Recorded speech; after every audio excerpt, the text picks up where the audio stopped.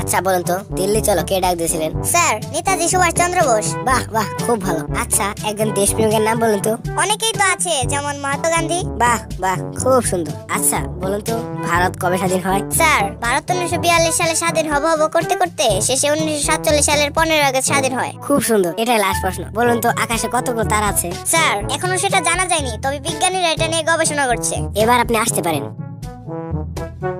ভাই, আপনাকে কি কি প্রশ্ন করছে? প্রশ্নগুলো আমার তো মনে নেই, কিন্তু উত্তরগুলো হচ্ছে নেতাজি সুভাষ চন্দ্র বোস। অনেকেই তো আছে, যেমন মহাত্মা গান্ধী, উনিশশো বিয়াল্লিশ সালে হব হব করতে করতে, শেষে উনিশশো সাতচল্লিশ সালের পনেরোই আগস্ট। এখনও জানা যায়নি, তবে বিজ্ঞানীরা এটা নিয়ে গবেষণা করছে।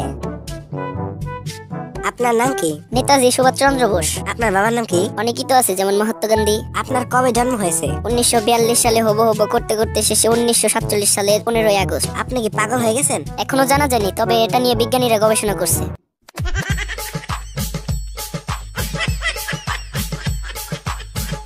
আপনাকে আমি দশটি প্রশ্ন করব যা পানির মতো সহজ অথবা একটি প্রশ্ন করব যা লোহার মতো কঠিন। উত্তর দেওয়ার আগে ভালো করে ভেবে দেখুন আপনি কোন প্রশ্ন উত্তর দিতে চান সহজ দশটি নাকি কঠিন একটি? আমি কঠিন একটি প্রশ্নের উত্তর দিতে চাই। তাহলে বলুন কোনটি প্রথমে আসে দিন আর রাত? দিন প্রথমে আসে স্যার। কীভাবে?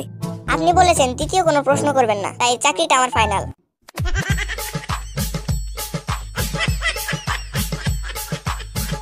একজন মানুষ কীভাবে আট দিন না ঘুমিয়ে থাকতে পারে? কোনো সমস্যাই নেই সে রাত্রে ঘুমাবে। একটি দেওয়াল বানাতে আটজন লোকের যদি দশ ঘণ্টা সময় লাগে তাহলে চারজন লোকের কতক্ষণ সময় লাগবে? কোনো সময় লাগবে না কারণ দশজন লোক সেই দেওয়ালটি ততক্ষণে তৈরি করে ফেলবে।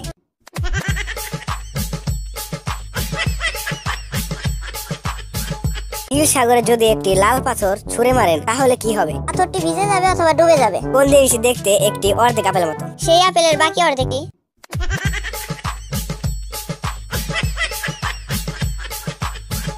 এক হাতে একটি হাতিকে কীভাবে উপরে তুলবেন? এক হাতে আটবে এমন হাতিকে জীবনেও খুঁজে পাবেন না। কংক্রিটের মেঝেতে ডিম ফেলবেন কিন্তু ফাটবে না। কীভাবে করবেন এটা? কংক্রিটের মেঝে অনেক শক্ত তাই ফাটার কোনো আশঙ্কাই নেই।